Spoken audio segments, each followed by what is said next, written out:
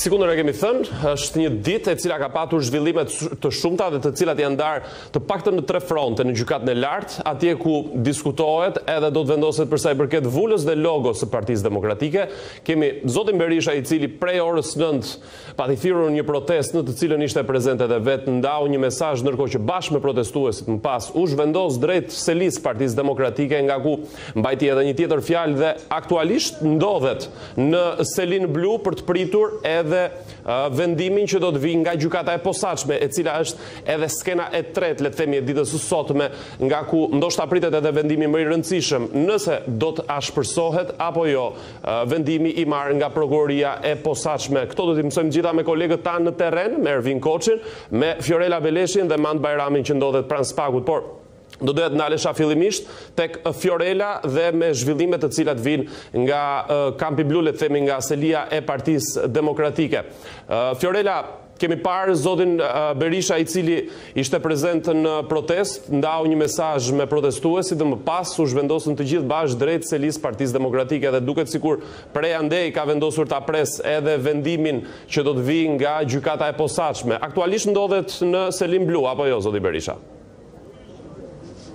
Po, ndodhet në zyrën e tij, së bashku me mbështetësit dhe me bashkëpunëtorët e tij, për të pritur tashmë dhe vendimin e gjykatës speciale, pave, gjykatës së posaçme, pavarësisht se duhet thënë që të paktën në deklarata që zoti Berisha bëri përpara protestuesve dhe mbështetësve të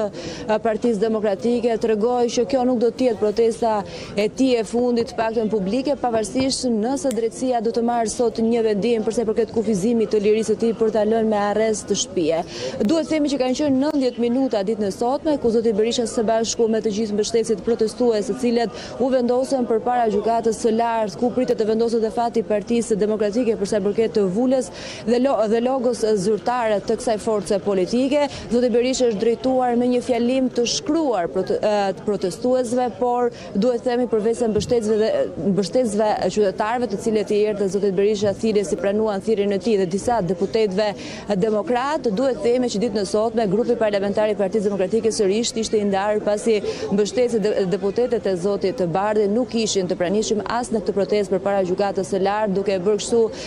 Një protestë vetëm me deputetët që mbështesin zotin Berisha deputetët e rithemelimit. Duhet themi që deklaratat e tij përsa i përket protestës së ditës së sotme u mundua zoti Berisha të mos fokusohej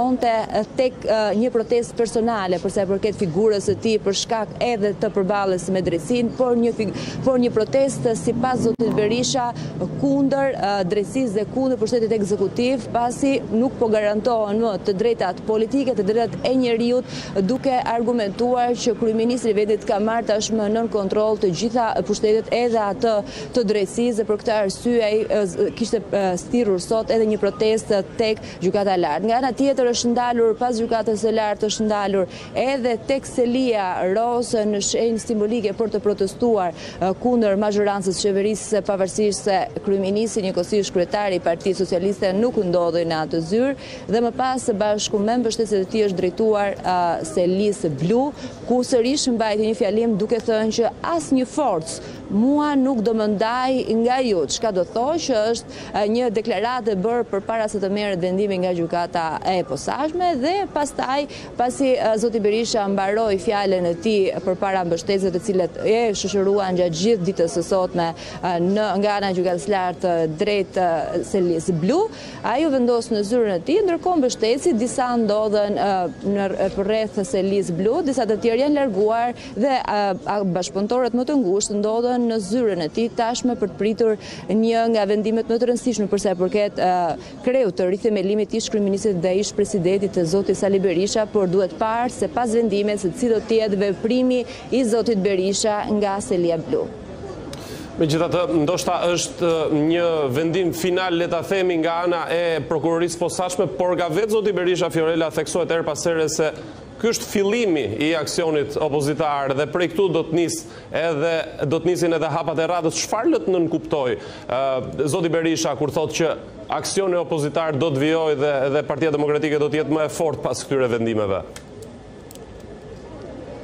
Duhet të themi Kristi që kemi pasur disa deklarata të herëpashershme të zotit Berisha në daljet e tij pothuajse të përditshme për sa i përket që nga momenti që zoti Berisha po përballet me drejtësinë duke thënë duke u kërkuar të gjithë aktorëve nga të rinj deri tek anëtari i fundit i Partisë Demokratike apo anëtari më i vjetër apo të gjithë qytetarëve që të dalin kundër këtij pushteti që sipas tij Tashmë e ka kapluar vendin në korrupsion duke akuzuar kështu qeverisjen e majtë të zotit Rama. Ditën e djeshme duhet të themi që i bëri thirrje të gjithë të rinjve që duhet të marrin ata fatin në dorë, fatin e vendit për të protestuar kundër zotit Rama dhe kundër qeverisjes së majtë. Por ditën e sotme duhet të themi që nuk pamë shumë të rinj, duhet ai protestuesit të cilët ishin të pranishëm ishin po të njëjtët ato që kemi parë edhe tek protesta përpara Kryesisë së Kuvendit ditën ku po shqyrtohej në Këshillin e Mandateve dhe Imuniteteve pikërisht kërkesa e SPAK për të ashpërsuar masën e sigurisë ndaj zotit Berisha, pavarësisht të gjithë numrave, numrit të lartë apo numrit të vogël të protestuesve, sërish zoti Berisha tenton dhe kërkon që me deklaratat e tij politike t'i angazhojë dhe t'i mbajë të ndezur mbështetësit e tij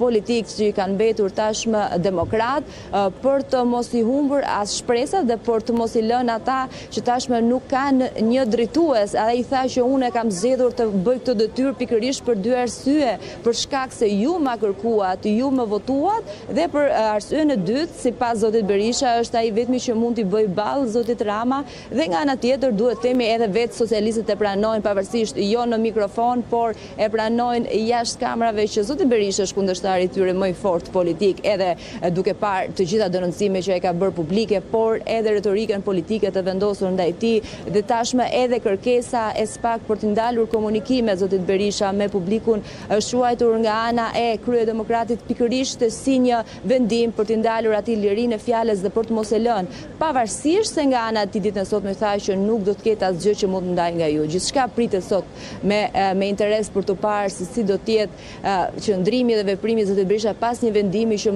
nëse do të marrë ditën e sotme Gjykata e Posaçme ndaj tij. Ndërkohë nga ana tjetër duhet parë me interes edhe qëndrimet dhe veprimet e deputetëve të tjerë demokratë, ata që mbështesin zotin Berisha dhe që ishin dhe në protestë ditën e sotme dhe ata deputetë të cilët janë me zotin